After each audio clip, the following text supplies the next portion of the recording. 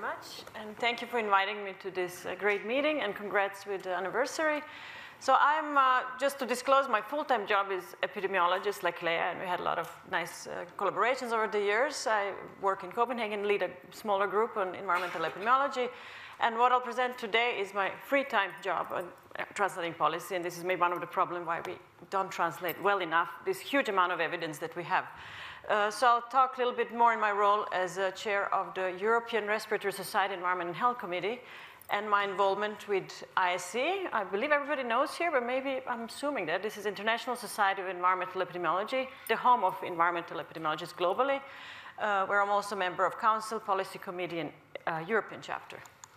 Uh, so I'll talk a little bit most about that work because that's where uh, this knowledge and experience I want to share. Uh, what do we focus on? I'll focus on several topics where we try to make impact and communicate about air pollution and make indirect impact or direct impact of policy.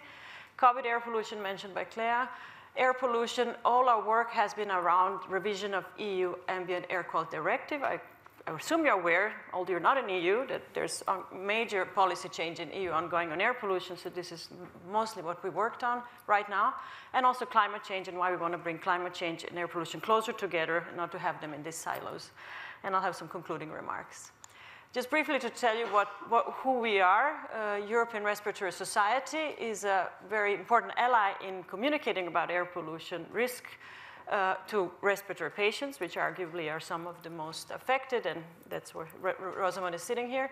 It's a society with more than 35,000 uh, members, clinicians, healthcare workers, scientists working on respiratory health, trying to improve uh, health for respiratory patients. This is the globally largest society, bigger than American, American Thoracic Society, so, so, uh, which has very uh, good tradition working with advocacy on uh, cleaner, better health uh, for lungs, where part of that is Environment and Health Committee that has been uh, led by a lot of our members, uh, Francesco early and Bert from ISEE, and right now, we are the, the members of this uh, committee. And here we strategically work in the committee uh, to promote uh, and advocate for environmental health, for cleaner air, uh, uh, to protect human health, um, uh, so directly, if, if, you don't know. And here we draw very much on expertise on the office. Brian Ward, it's a full-time position, Director of Advocacy European Affairs, who has insight in political process and, and secretarial help. so, so there's a lot of help coming to us from them. So air pollution and COVID, I'll start with this in, in my term now, third year in, a, in this committee. Of course, uh, with the COVID pandemic, we saw an opportunity uh, because pandemic has raised interest in air pollution because we've seen reductions in air pollutions around the globe and because of poor but early studies that showed some correlations between high levels of air pollution in Italy and where the outbreak happened.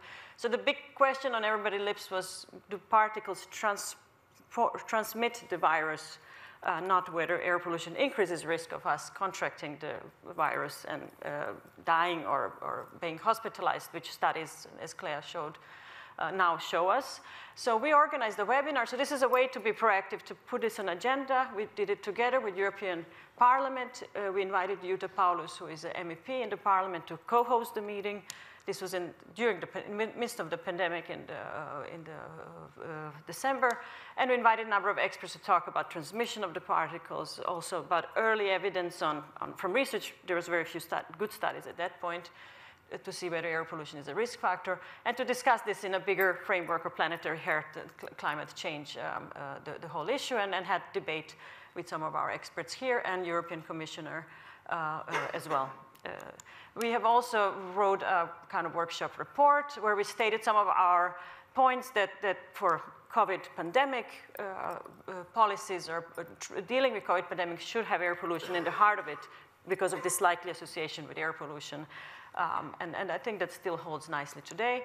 Uh, we also co-hosted some webinars. We have been keeping um, uh, also uh, eye on what's going on with evidence coming out. And we are also now in the, now that we have actually enough evidence, as Claire pointed out, a lot of good studies have come out in the last three years. And we are trying to put, another way we put topics on agenda, of course, for European Respiratory Society lung, and lung health professionals, COVID is a very important topic. So we're trying to put through conference, uh, annual conference, and now in Milano, a whole webinar, uh, seminar, sorry, symposium, which will follow up a couple of activities, probably new statement and so on. So this is one way to say in the COVID pandemic um, strategies, we need to really be aware of air pollution. Uh, um, the next big uh, topic uh, really is the revision of EU ambient uh, Air Quality Directive, AAQD. Uh, I hope you're all aware this has been ongoing, and this is something that is really taking most of our time. So the WHO uh, uh, Air Quality Guidelines were published in September, uh, sorry, October 21. Uh, they have been, uh, uh, EU uses gui global guidelines as their synthesis of evidence on health effects of air pollution. Uh, and they have started the whole process of revision of European law on air pollution the day of the uh, publishing of these guidelines. And this kind of kickstarted our work on, on, on these guidelines, on, the, uh, on uh, making an impact, translating knowledge uh, to the directive. Uh, this is a, a, graph of the clear air milestones, so the, all the processes in the, the revision of the directive, and I'm not going to go in detail, but just to see there's so many things here where you, we were able to make impact, and I'll show some of things we did and so on. Uh, and it, we do this in collaboration, of course, with Brussels office. It's, it's, it's a really uh, daunting task, uh, but everything starts around here. So I'll lead you to some examples of what we have done and how we, how we can get engaged. And maybe I'll end up recruiting some of you, as Virginia did. Uh, be aware.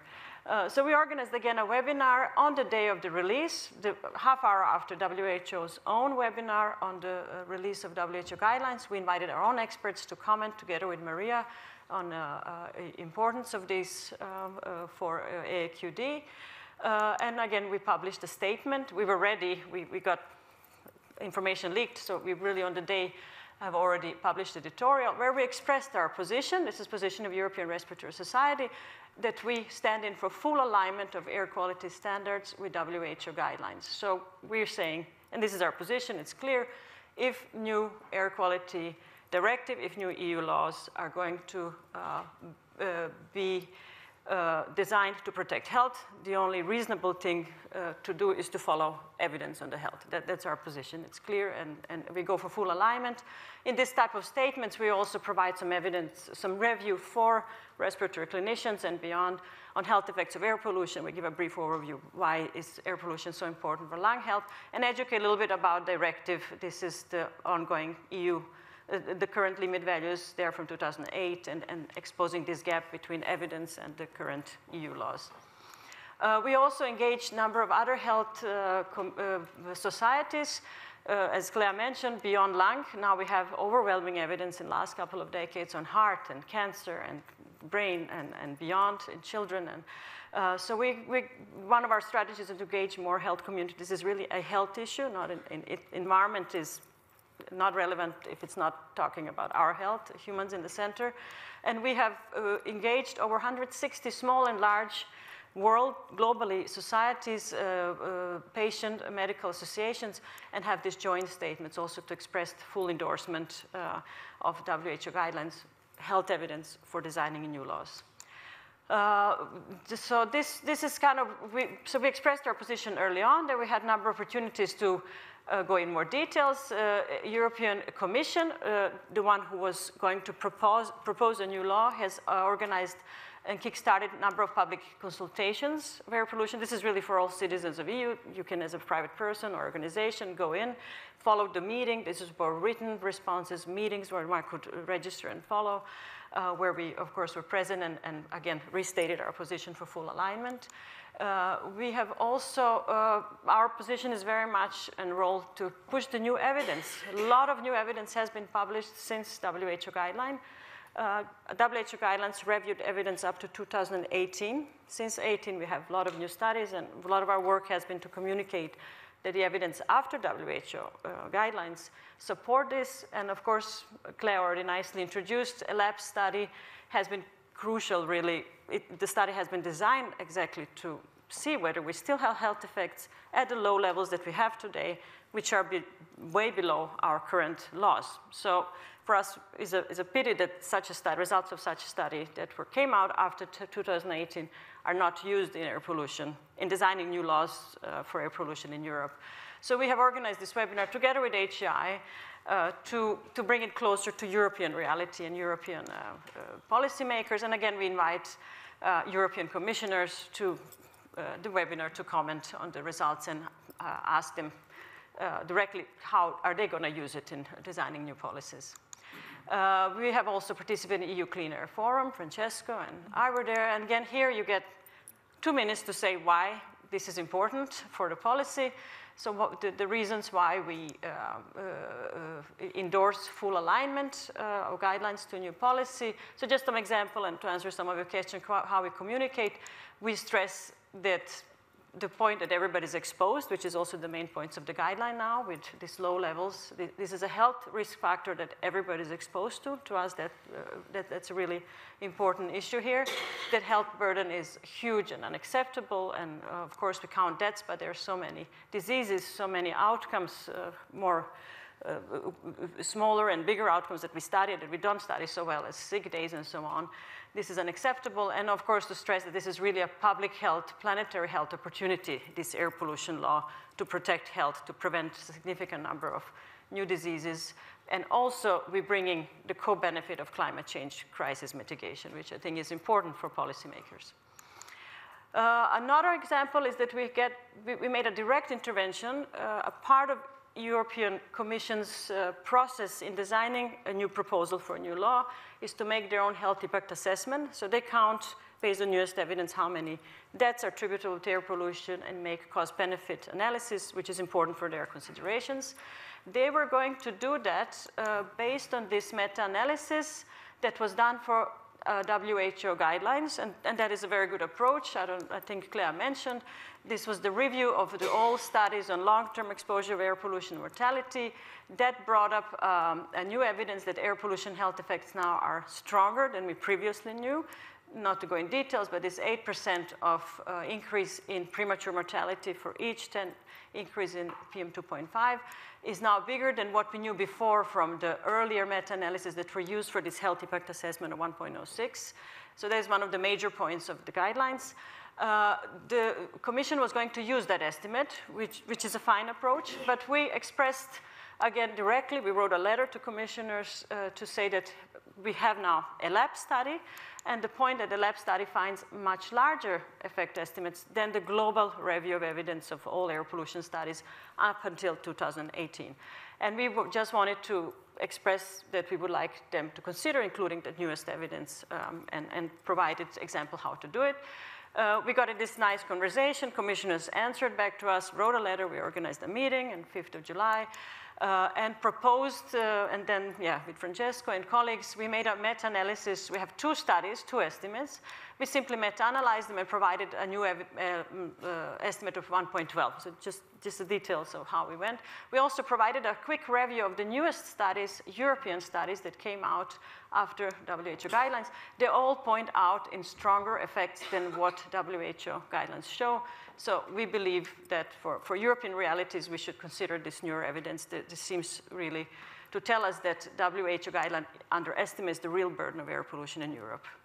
Uh, we did that for PM2.5 and for NO2. And again, they needed this published somewhere they can refer to it. So we quickly wrote an editorial uh, and published this. And they actually took this as a sensitivity analysis. Uh, it's maybe hard to find in their uh, papers, but they took it, and European environmental agencies also took this proposal to, as a sensitivity analysis in their health impact assessment. So that's a little success, maybe, in uh, getting them to imp uh, implement new evidence. Uh, so uh, proposal came out then. Commission has worked on proposal. That was published in October 26 to 22.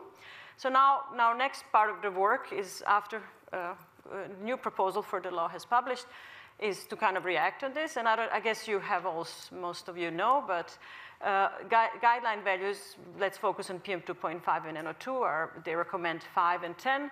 Uh, the proposal fails short on full alignment. Uh, it goes, proposes new laws to be 10 for PM2.5 and 20. This is still much better than what we have now, but not fully what we hoped for. So we uh, have responded right away that uh, yeah, we, are slightly disappointed, but of course welcome the right uh, step in the right direction. Uh, and we also in uh, published, uh, again, editorial where we go a little bit more details. It's not just about alignment and the timeline. Uh, that's also another way to delay this, to say whether it's 2030 or 50. Uh, so we expressed also some other points from this proposal on ozone, a number of things. I don't have time to go in detail, but we can read on them in this uh, proposal, our position on all of these issues in the proposal that we, we have opinion about. Um, I just want to point out that we have a really strong collaboration with uh, NGO HEAL. If you don't know what HEAL is, it's a Health and Environment Alliance, an NGO in Brussels. They have full employed employees who help us uh, to react, to, to write uh, to commission and to get a right timing. Uh, another thing we did with them, we submitted amendments to the proposal. There was a window of a couple of weeks when everybody could su submit amendments. We did that but very much together with HEAL and other health groups that we work together. I'll show it in a slide, because just the whole daunting work in reading the proposal, how you put in amendments, I, I would not, in my capacity, be able to do this by myself. Um, so, so, this collaboration has been crucial uh, with HEAL. Uh, HEAL is uh, organized the health groups that we are part of from European Respiratory Society, from ISEE, uh, we feed the evidence, so we're important partners in, in their work in, in, on air quality, um, on, on, advocating for clean air. They also have a number of important health groups, uh, uh, Allergy Association, uh, European Association of Doctors, European Association of Health Insurers. Uh, and the way HEAL works, they, they organize meetings from us, uh, for us with EU Commissioner Sinkevicius. This was while the Commission was preparing proposal with MEP in Parliament. Now Parliament is um, looking into proposal and it's going to vote soon. Uh, local meetings in Germany, this is Barbara there. So, so HEAL is really crucial in this work and they use us as experts to react and, and uh, get us involved uh, because we are important translators of the knowledge that we produce. And, and we're also closely collaborating with HEI, of course, in a lot of these activities. Uh, uh, HEAL is also helping train our members, ISEE, in how to get more engaged, how to respond to policy, how to do more activities in our home countries. Um, and uh, we are very grateful for that collaboration. I really couldn't do it without it. Uh, sometimes uh, MEPs from the parliament organize meetings about air pollution, invite us as experts to come in and talk. That's, that's one way. They, they put air pollution on agenda. This was a meeting in November uh, also Javi Lopez. Uh, this was a public hearing on the proposal uh, where we also were invited to, uh, and again, and again, we state our position for full alignment. Uh, that, that, that's our job in these meetings.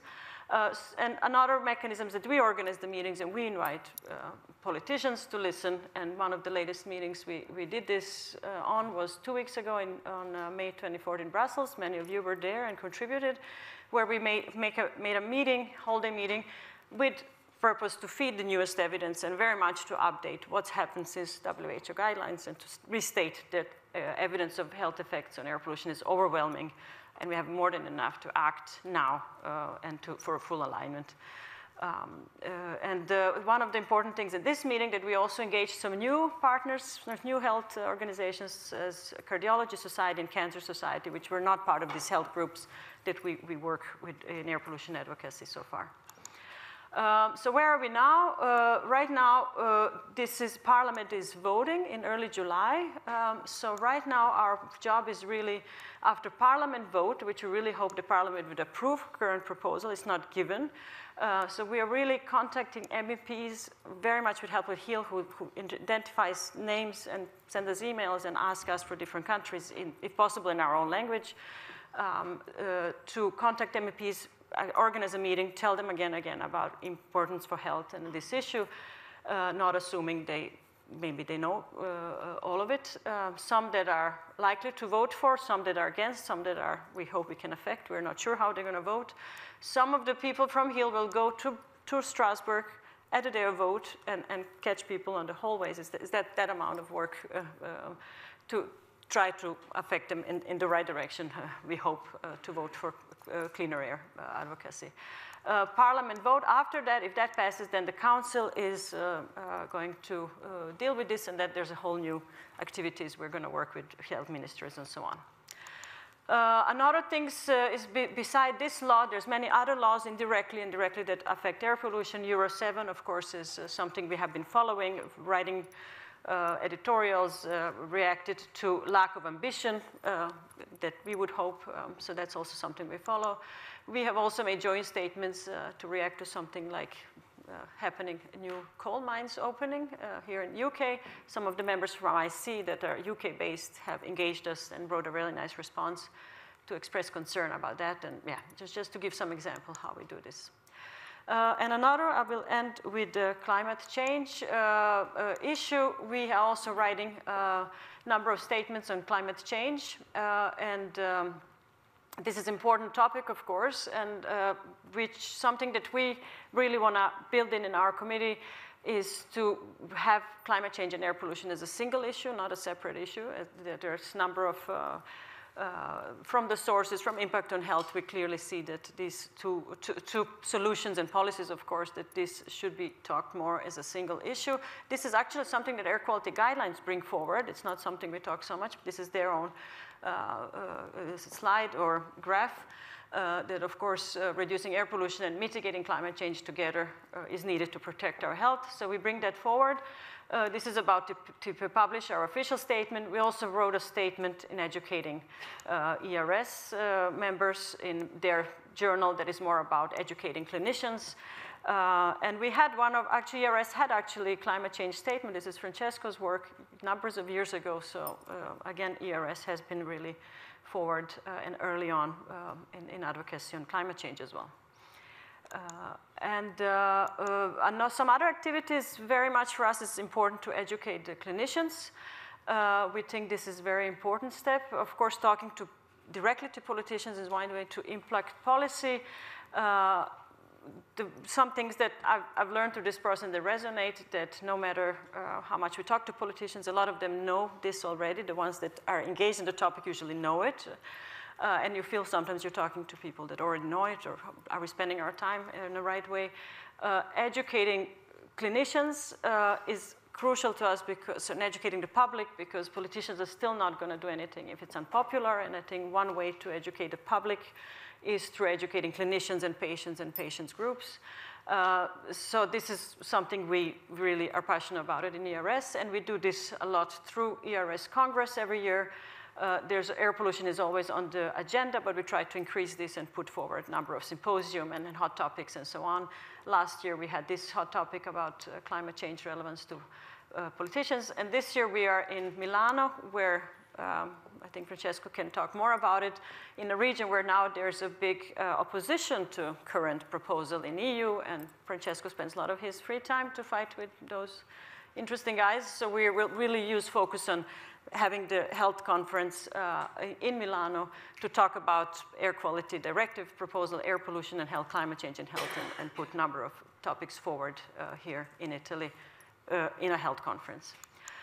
Uh, we also have other opportunities. ERS has a number of educational uh, possibilities, something ERS satellites once a year that put focus on many, a number of topics. The thousands of physicians join, actually listen to these educational events where again we had opportunity to talk about environment and climate change uh, and, and respiratory health last year. So this is another forum we can indirectly talk about these issues. Uh, uh, another statement ERS has prepared uh, last year was on asthma patient and environment, or, or this um, dilemma of asthmatics using medication that uh, releases F gases, which are greenhouse gases, uh, and, and the need for right treatment and asthma patients being affected by climate change and air pollution and how, how do you navigate in that? Quite interesting and not difficult topic, but we also get, had a webinar about it, but it was also opportunity to talk about impact of air pollution on asthma. Uh, we also do a lot of work in Eastern Europe. It's a strategic area, of course. Air pollution here is the highest, and a lot of these countries are not going to be easy to convince in, in the council uh, negotiations to support the new air pollution law. So we do a number of training. This was just before uh, COVID. We did a session in Poland. Uh, we have now a lot of focus on Southeastern Europe, and there was a webinar organized together with HEI and HEAL um, and ISEE in, in Western uh, Balkan countries, in Serbia and Bulgaria, and engaging these countries in educating on air pollution. Uh, and now some concluding remarks. Uh, so we uh, really, uh, as I see as epidemiologist, I think what what also resonated with me with some of these meetings in Parliament that commissioners and those MEPs they come to us say, well, you have such enormous evidence. To, they work on a number of other files, if it's a new laws on chemicals or so on. They've never. It's such an easy case for them because evidence is so overwhelming uh, where it makes me wonder why have been so bad to translate that in action if you have such a good evidence uh, in so many diseases. And I think one of the things that uh, I personally, uh, also in Ella's case, that resonates with me, that no health professional uh, uh, dealing with Ella, and I think we still hear uh, at, at a medical conference that we go that a lot of clinicians still don't know about air pollution health impacts. They don't have it in their medical curriculums. They wouldn't know how to talk to their patients about it. That we, we really see an opportunity and, and something that, that we really need to be better at to mitigate effects on the patients in the meantime while we get better laws and so on. So our, uh, we really need to work more with medical societies, the memberships of European Society of Cardiology, uh, European Cancer Organization, and we, we will build stronger alliances with ERS to work in future with them and put uh, things on, on agenda uh, for their members and patients and, and rel related people. Uh, so conclusions, uh, so how to translate evidence, and I, of course, talking directly for politicians, and this is an example of what we do now with AQD, is a way to go. Uh, and, and, stating, again, clear, short messages, uh, supporting, it's all evidence-based uh, for us, that's very important, but also pointed out to co-benefits and, and, interactions with, with climate change agenda, with physical activity agenda. I think this was also brought up briefly yesterday. Uh, a lot of this air pollution uh, and policies, promotion of active travel will do major things for physical inactivity agenda. And so these co-benefits interactions are really important.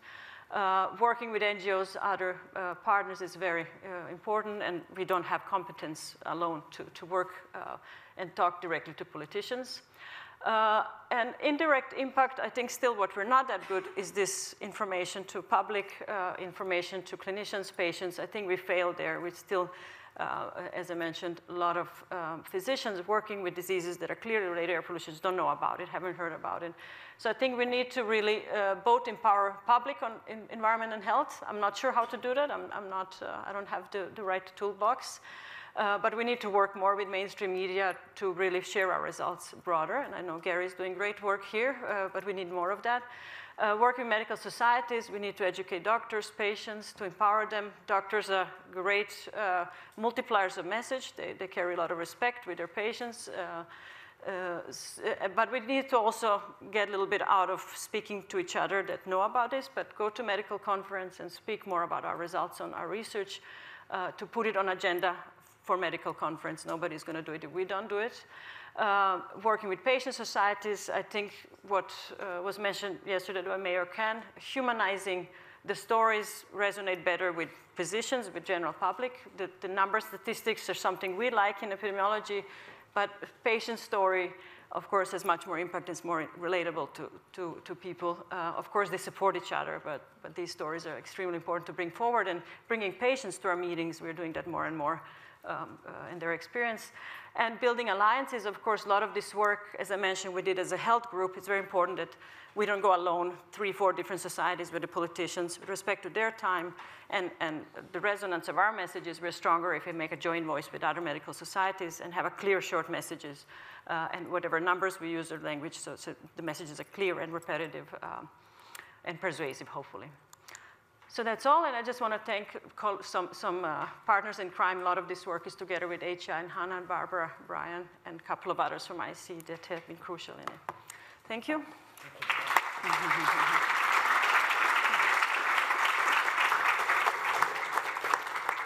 Allow two questions again before coffee. Anybody want to take? Yes, we've got at the back, please.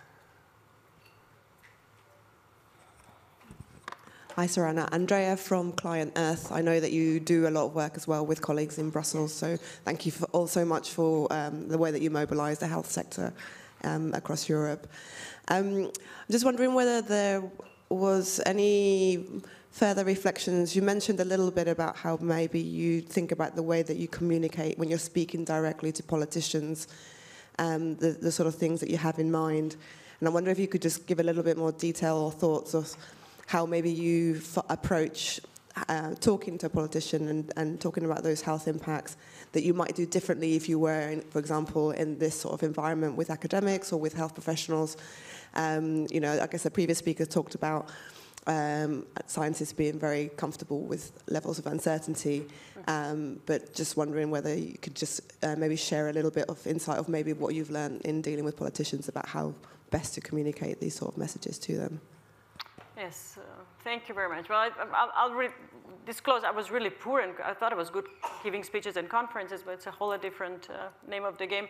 Usually in all our meetings, we have two to four to five minutes slides, maybe no slides, so you really have to cut it down to three, four more main messages. So keeping it short and clear, and again, working with HEAL has been really impeccable for us to say, um, uh, not to give any uh, doubt or any insecurity or that we need, we have, a, we have gaps in knowledge and all that we'd like to hear. And we have amount, incredibly a lot of knowledge, and really this is also the politicians fed back. It's amazing how much knowledge we have. in a lot of other cases, this would have passed the laws and so on. So really keeping it short and clear uh, and something like a full alignment, unacceptable health cost of inaction already to us. Everybody's exposed. Really something that Maria Neira is really good at. Nobody should die from breathing in Europe, nobody should get sick. So those are things that politicians like to hear. Maybe a few cases, uh, few faces, unfortunately, of, of, people that have died prematurely rather than 7 million, 300 million dead, 300 dead. The, the numbers and relative risks are not something that politicians respond to, but just kind of, and, and re repeating the message really. And, and, and I something I want to bring up, I, I, don't know if we'll be impactful or not, does this matter or not, but measuring impact of our work, that's, I think we've discussed a lot of here, we, we, we hope we'll be able to celebrate in a year from now that we have a new strict law. But those are some short points from me. Thank you. Do you have a second question? If not, I'll fill in with one, Susanna. Sure. Is there anything, is there anything in, sorry, did I miss somebody else? Rosamund. Oh, I'm sorry. Let's come to Rosamund. We'll leave my question for later. Want to speak to you about COVID and ask you, I wasn't sure why people were surprised when ethnic minorities, so black and brown people, were four times more likely to die than because they are exposed already. I spoke to Stephen about this in quite a lot of detail, that they are more exposed to air pollution.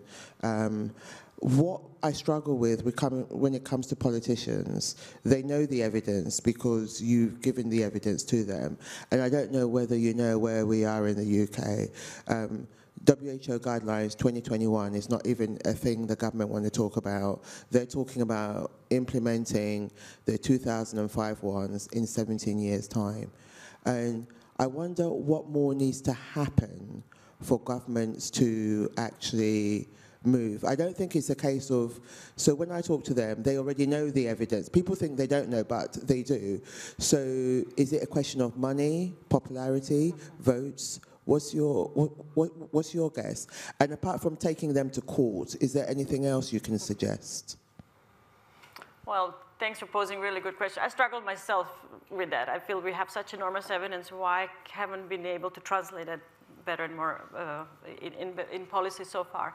I guess question lies in who are the people against the proposal, and, and we got a little insight, of course, to people that their arguments about, uh, I think Francesco and I have a lot of fun uh, with arguments that come out economic collapse, that cleaning air pollution will leave our economies, That we'll lose jobs and so on.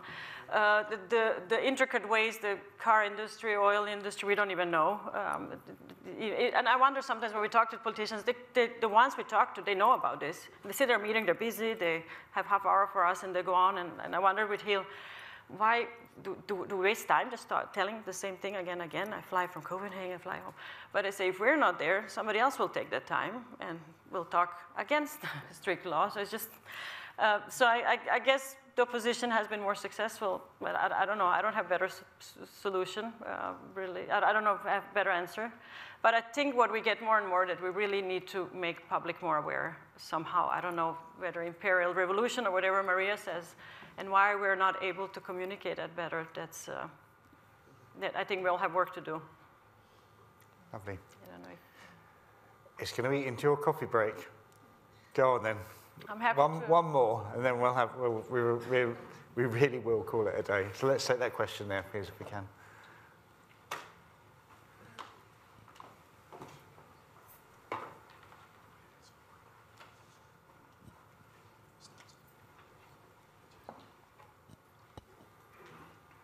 Um, so our politicians are really engaged. I mean, we're a local authority, and you know we're a small area. I've been thinking about um, uh, Rosamund's question as well. Is almost how people, a bit like anti-vax, how people react to something that's factual and fear-based, and then a narrative of "don't worry about it" is going to go away. I think some of it is the impact on business but it's almost how do we counteract the don't worry, if we hide, it will go away with something that's also hopeful, which is yes, there's something scary over here, but look at the things we can do on the ground to counteract that. Because otherwise, it's, and I don't, you know, we're struggling with it locally. Otherwise, it's here's something really scary. Um, and then the opposition are saying, oh, don't worry about it, everything's going to be okay, it doesn't really cause deaths. So it's can we use your science and all that fantastic research you're doing to say, here's something that's happening, but here are the solutions. Be with us on that journey. Mm. But I don't know, we haven't cracked it, but we're lucky that um, our politicians are on board locally. But yeah, very interested in continuing to work with Frank and Ben on this translational, winning hearts and minds kind of thing. But thank you. Thank you. Maybe just a quick comment. We're working now more with sociologists and environmentalists to, to try to understand what are the drivers of change. What do public what does public respond with, which information, and how, what are they likely to uptake. So we worked with one for Poland who identified women, mothers, as really receptive. They know, they can feel when the air is a little bit more smoggy and they don't take their kids to bed. So I think we need to do more work in what makes impact, what, how to take our messages to wider public, who responds to them, um, I, I, we definitely need to, to, have respect that we're not that good at it. We need to do more work uh, to communicate. And uh, yeah, I'll be happy to share an insight on how, how to be better at it. Because I think a necessary step in convincing politicians is definitely convincing public. And also keeping positive messaging. To Maria, a lot about this is an opportunity we have already, what in Denmark we talk now, it's the same. Well, we already achieved reductions, come on, there's no problem, the air is clean. In Copenhagen, it's hardly ever smoky and people cycle around. Uh, but just to say we already achieved so much, Denmark is leading example with our cycling rates. A little push more, we still have effects. Let's, we know what to do, we just need to do a little bit more of it. We try to keep it, and then we'll get even nicer cities, even greener, even more bike paths, we'll all benefit maybe switching into opportunity and positive message would work, but I'm not, that's just intuition. I, I hopefully we'll be better at it together. Lovely. We must move on now. Thank you, Zorana, for Thank such you. an informative talk.